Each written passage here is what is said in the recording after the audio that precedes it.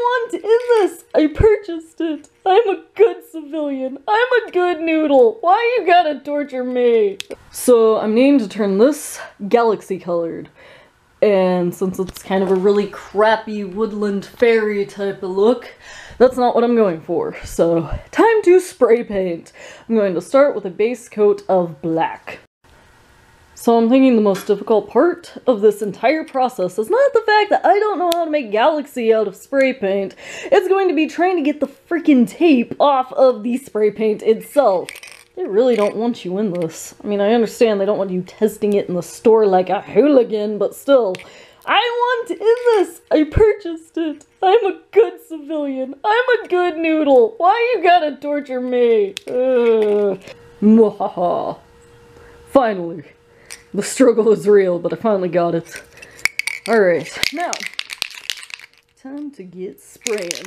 Wish me luck. I hope I can do this one-handed, otherwise, gonna have to put you guys down. It's important to note, this little dot should not be facing your face. Should be facing down onto the thing. Yep. I almost did, um. Dum da dum dum dum. Ah, yes. Get on me. I gotta get high all the time to keep this costume on my mind.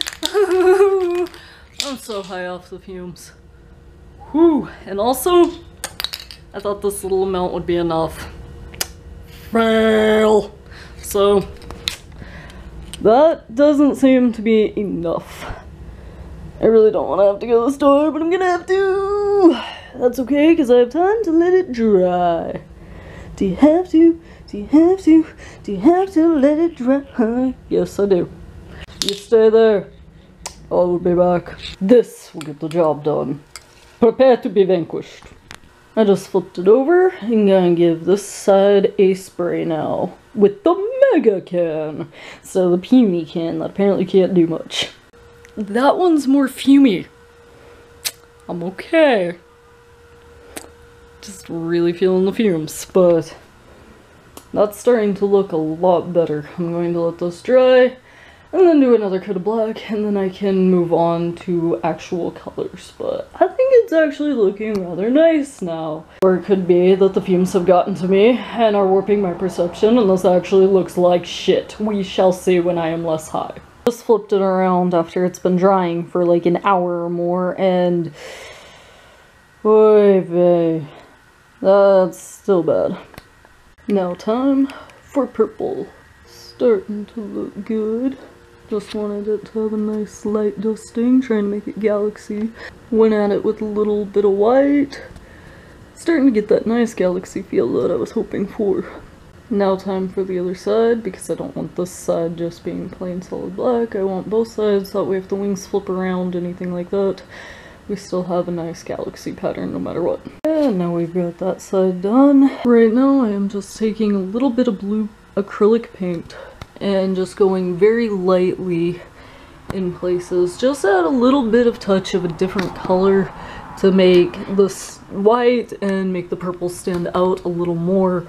Give it more of that galaxy effect that I was going for. So just with a very tough textured brush that way it doesn't get like spotty or anything like that. Like this part got a little spotty, but oh well, we can call that a planet or whatnot. Thankfully with space, there's a lot of anything. but just going over that and then I'll do the star effect where I'll just splatter some uh, silver metallic paint all over it. But so far I'm really liking how it's coming out. Now for the messy part. Got my metallic paint. This is just plain acrylic paint and metallic silver. And I've got the brush kind of saturated and I'm just going to flick it over. And it should give a nice spattered effect. Just droplets. That's all you're wanting. Because stars should just look like little tiny dots. And big, small, anything just gives distance, depth, to it. So I'm gonna be at this for quite a while, but so far it seems to be getting me kind of a speckly effect. If you look right here, that's just from flicking. You want to do it kind of up high. That way you don't get like over splooshes. Don't want that. Alright, so now it has the accurate speckle that I want of stars. And now I just gotta wait for this acrylic to dry and then I can flip it over. And it is done. I'm really happy with the outcome. I think they're really nice. Yay! I have never done anything like this, and I've never even seen a tutorial, so I went off a whim and hoped that I could do this, and thanks to Katie, she said that spray paint would be a good idea, and spray paint was a good idea. It just takes quite a lot of coats to cover up a pre-existing color, but other than that, it was really good. I'm happy with them. So now we're trying to get the wings to be less flippy floppy.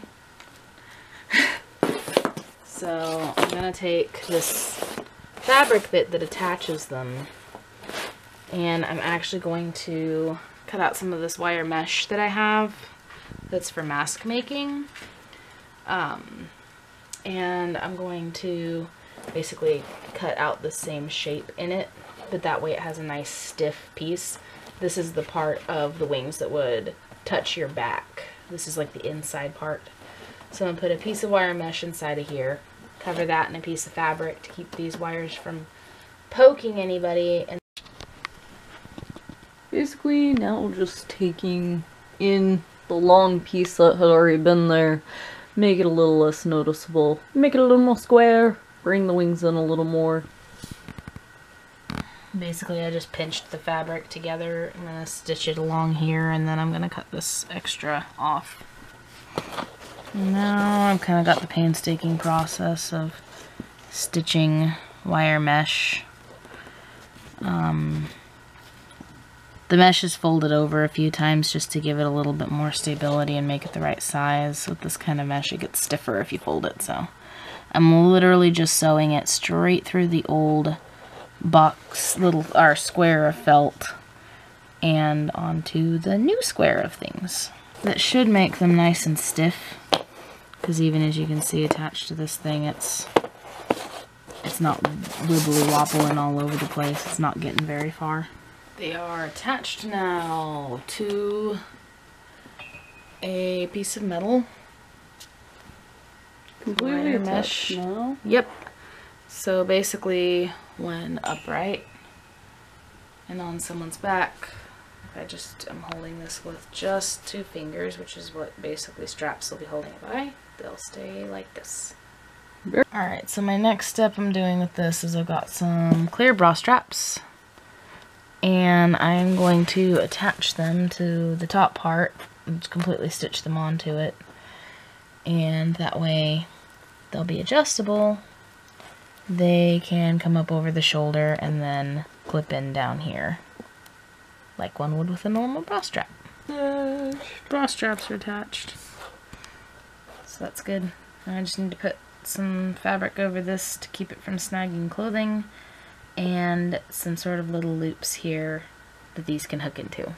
So for something to attach the bra strap to, I used a little bit of ribbon and literally just cut maybe like two inches of it. Fold it in half and then I tuck it up inside of this fabric square underneath the fabric there. And then I'm just going to take my line of stitch and go right across it and it'll be attached just like this one is. Theory proven. Fact, this works, yay! There are now two adjustable clear straps to hold the wings on. Here are the fabulous galaxy wings. Oh, so pretty. Look how cute it is. Those work impressively well.